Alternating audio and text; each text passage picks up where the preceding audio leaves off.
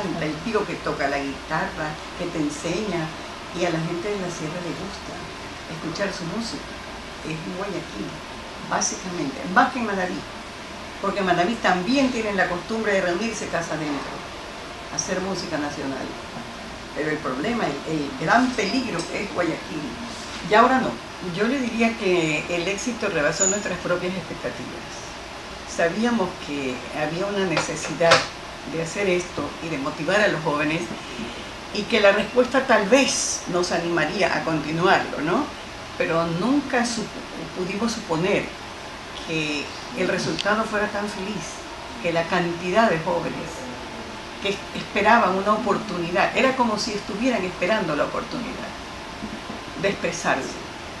Hombres y mujeres, lo que no ocurre en la historia de nuestra música nacional donde ha habido muy pocas mujeres compositoras.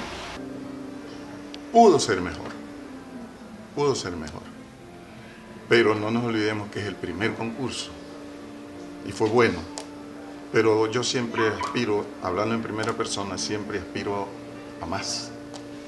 Y esa parte, yo creo que como va a haber una segunda oportunidad, va a mejorar en ese aspecto.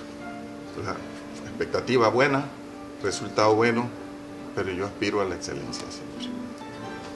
Que se den cuenta que la parte literaria, en mi concepto, debe haber, debe, debe estar elaborado de tal manera que haya cuartetas, que haya, que haya rima, que son tradicionales y que dicen que romper los esquemas es de, de, la nueva trova, de la, nueva generación. Pero lo que se hizo bien no se lo puede destruir, se lo tienes que mejorar.